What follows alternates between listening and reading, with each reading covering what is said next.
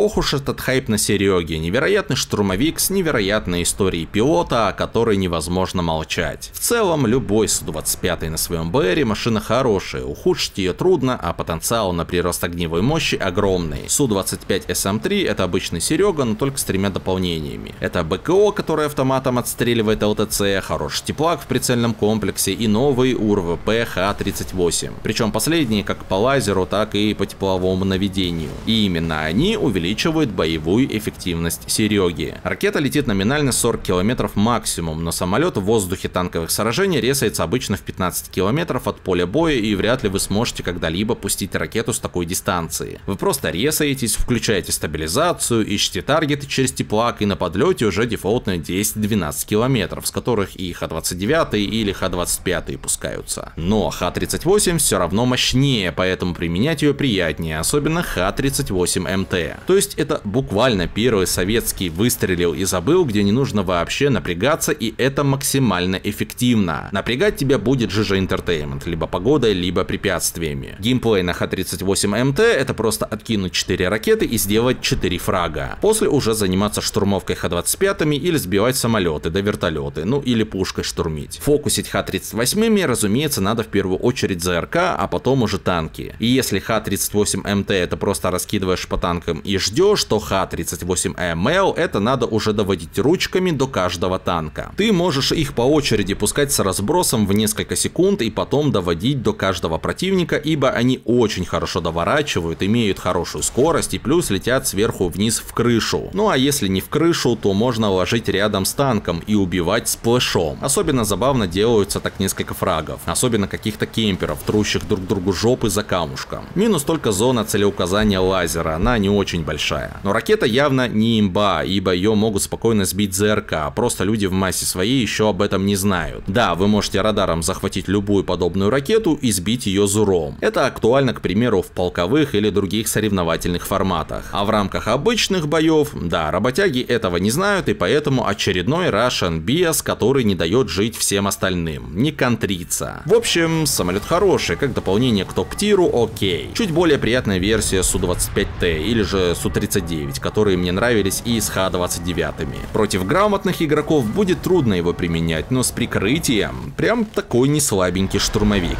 мира.